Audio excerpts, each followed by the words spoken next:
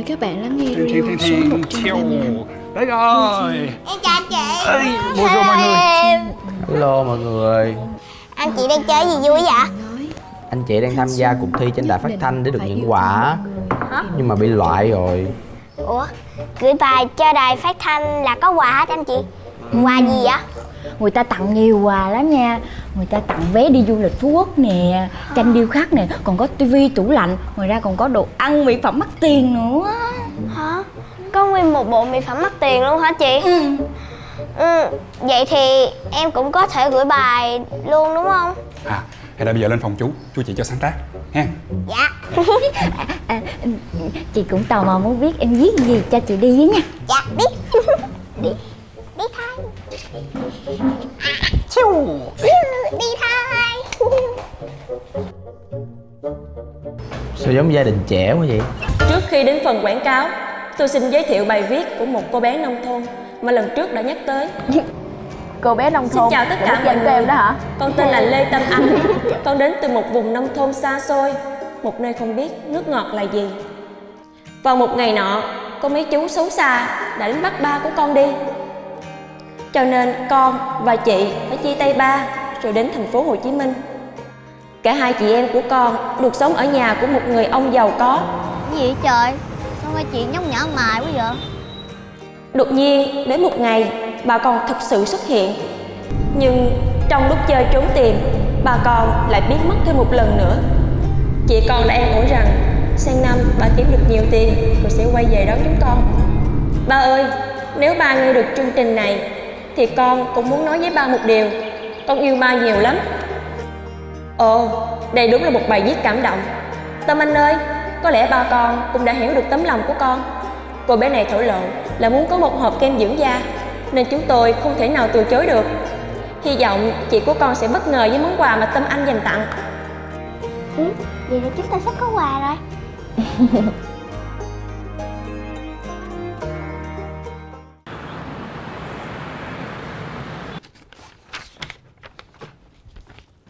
Làm gì xiên quá vậy? Chưa có bài viết mới đâu. Ý Có nè, có nè.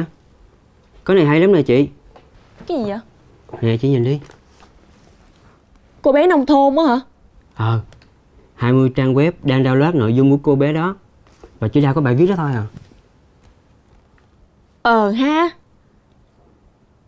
Đây đúng là một kỷ lục mới luôn á. Trước khi chúng ta thưởng thức bài hát cuối cùng Cho hỏi cô bé nông thôn Lê Tâm Anh Có đang nghe đài không ạ? À, dạ có ạ. Nếu có theo dõi chương trình Mong con gửi thêm một bài viết nữa. Bởi vì cô đang nhận được rất nhiều câu hỏi Và lời yêu cầu. Họ muốn tìm hiểu cuộc sống của hai chị em ở thành phố Hồ Chí Minh như thế nào? Ờ, dạ, dạ được. Nè, nhóm mày kia. Ai cho phép mày nghe radio của tao? Ờ, cô nói là mình có thể nghe radio lúc nào cũng được. Dám bị chuyện hả? Đưa đây cho tao. Ông đưa đây Hả? Trả đây Trời không, ơi, sao người như chó với mèo cãi nhau hoài vậy mấy đứa? Thôi đi. Ông ngoại ơi, nó dám bắt radio Ông ngoại giết con à. Ừ vậy đi, vậy cho nó bớt hỗn láo lại. Ông ơi, ừ? con cũng cảm ơn ông nhiều. Nhờ ông mà Lam Chi nó không dần radio với con nữa. Ừ, không có gì đâu con.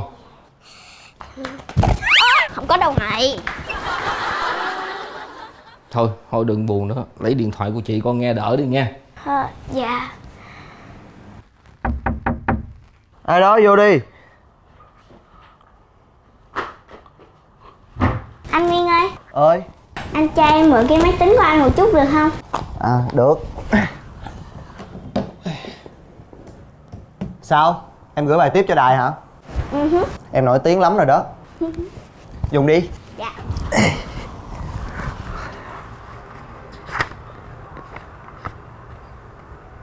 Chúng tôi xin giới thiệu một bài viết nữa của cô bé nông thôn Tâm Anh. Nhà mà chúng tôi tá túc ở Sài Gòn là nhà của ông Đỗ Tú Tài. Ông là giám đốc của một công ty cung cấp lương thực rất lớn. Mỗi lần ông thả bom là vang khắp cả nhà. Có lẽ trên đời này không có người nào có khả năng thả bom giỏi như ông hết. Tùy theo tâm trạng mà tiếng thả bom của ông khác nhau. Những lúc mà ông nổi giận thì bùm Những lúc vui thì bùm gì vậy trời. Đang ngăn mình cái chuyện thả bơm mất vệ sinh quá. Nét mặt của ông thể hiện theo tiếng thả bom rất đa dạng. Thỉnh thoảng nó làm cho con giật mình và ngập thở vì cái mùi của nó. Nhưng con không hề ghét tiếng thả bom của ông chút nào hết. Vì ông là ân nhân của con Không thì hai chị em con cũng không biết phải đi đâu, về đâu ở Sài Gòn này. Nè, chú Bảo Hình như là đang nói về giám đốc đó Tôi đã nói ngay từ đầu là ông đủ cái tài mà. Nói đúng lắm luôn á.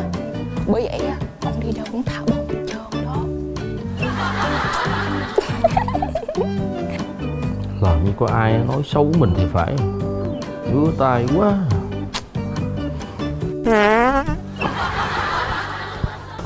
Trời ơi, bạn mình bạn mình ơi. Gì vậy? Lại đây, lại đây. Lại đây nè bạn mình gì vậy? Trời ơi, bạn biết tin gì chưa? tên gì? Bạn nhìn đi Đó. Số lượng từ khóa cứu thả bơm Của ông bạn đó Nó tăng một cách sắp mặt luôn. Nè Bạn nhìn đi.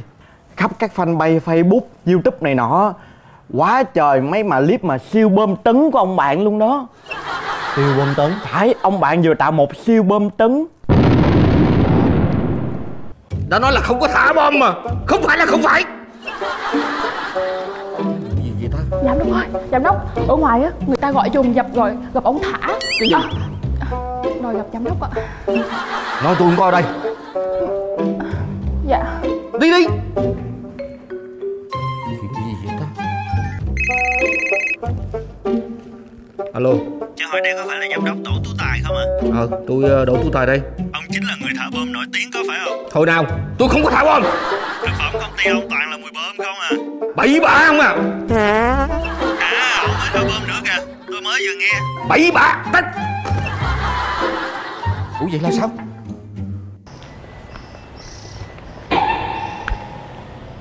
Thực phẩm có mùi, thả bơm Vụ gì đấy? Hả? Ai làm chuyện này vậy? Ủa, chị hả? Chị ơi, em có cái này cho chị nè Cái gì vậy? Có đây Nhảy lên. Đèn đèn ừ, Này là gì đây? Mở ra đây là biết Ủa?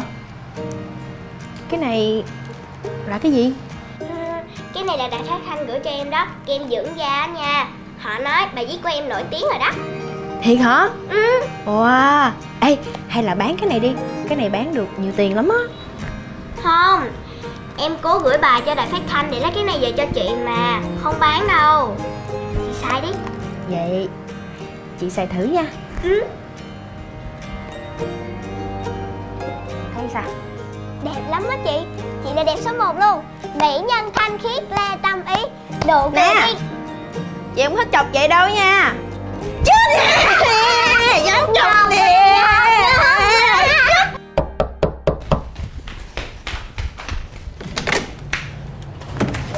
chào ông. Ờ Chào ông. Dạ chú. Ông ơi, cơm cho để con dọn cơm cho ông nha. Thôi khỏi cần đi. Không biết cái đứa nào mà nó bêu rếu. Nó nói ba đánh rắm. Bây giờ cách tốt nhất á là mình phải ờ, tìm cách nào để khôi phục lại thương hiệu. Chứ nếu để ờ, thông tin mà thực phẩm của mình có mùi đánh rắm lộ ở ngoài là chết luôn á ba. Triệu tập ngay cuộc họp ngày mai, nghe chưa? dạ. Tin đồn chú thả bơm á Như là cú đánh rất mạnh vào công ty lương thực của chúng ta. Có đối sách gì không? Trước khi có tin đồn chú thả bơm á Thì hình ảnh của công ty chúng ta cũng không được tốt đẹp cho mấy. Cho nên khi mà tin đồn này xì ra thì mọi người tin liền. Rụng lại bó tay. Phải có một cái kế sách gì chứ để thoát qua cái cân nặng này chứ? Ba hay là mình đăng quảng cáo trên tivi nha ba Mày rảnh quá mày đăng quảng cáo. Hả? Hết chuyện làm rồi hả? Bây giờ nó đăng khúc mắc vấn đề tài chính nữa. Bây giờ trường cái mặt ra cho người ta chửi hả? Trời ơi không rồi có trong suy nghĩ tùm lum tà la hết. Ngồi họp cả tiếng đồng hồ không dám nói câu nào mới nói được con câu chửi người ta nữa. Ra ngoài! Đang họp mà ba. Tao nói mày ra ngoài! Đừng đừng Chú. Con thấy anh Ngọc nói cũng có lý á chú Bây giờ người ta đồn thổi về công ty của mình quá trời nhiều.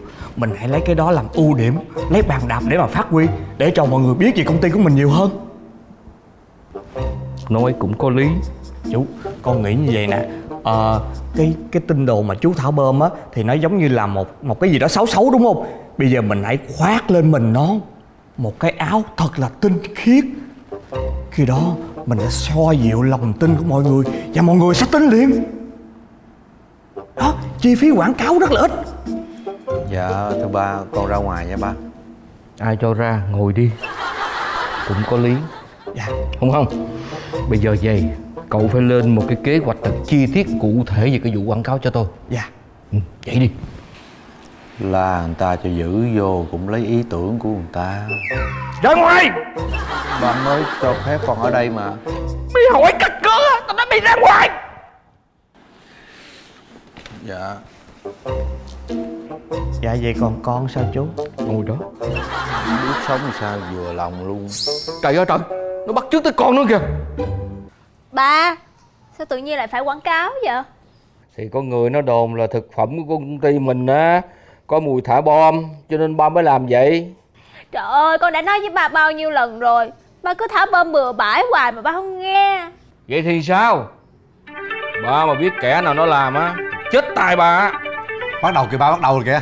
Công ty tài hoa của chúng tôi luôn hết lòng chuẩn bị những món ăn. Được tự hào là có độ tươi sống thuộc lại bậc nhất quý vị. Tại sao nó bậc nhất? Là tại vì nó rất là tươi. Cái thứ hai là gì? Bao giờ nó cũng có những nguồn gốc thiên nhiên. Khói đã bốc lên rồi đã chín rồi đó.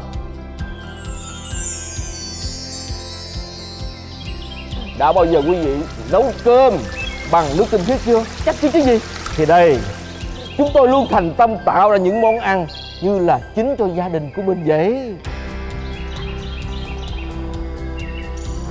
Ông ơi ông gì? Trong cơm của ông hình như có mùi của rừng sâu đó ông. Vậy hả? Ờ ngoan. Đúng là có mùi vị của rừng sâu hết sức là thiên nhiên quý vị à. Công ty tài hoa của chúng tôi luôn tự tin khuyên mọi người hãy dùng sản phẩm của tài hoa Ơi là trời. Bước đầu gì là tạm ổn. Công nhận ba lên hình cũng ăn ảnh ghê ha. Ba Tiếp theo phần 2 á Ba cứ giao cho con làm người mẫu ảnh đi. Để con nói với ờ, trưởng phòng Kim Con mà lên ảnh là bảo đảm xuất sắc liền Con đẹp trai hơn ba mà khi nào mà được lên giám đốc hãy tính. Giấc mơ làm giàu giàu giàu Mong cuộc sống đủ đầy cùng những tháng ngày. Giấc mơ làm la la la la la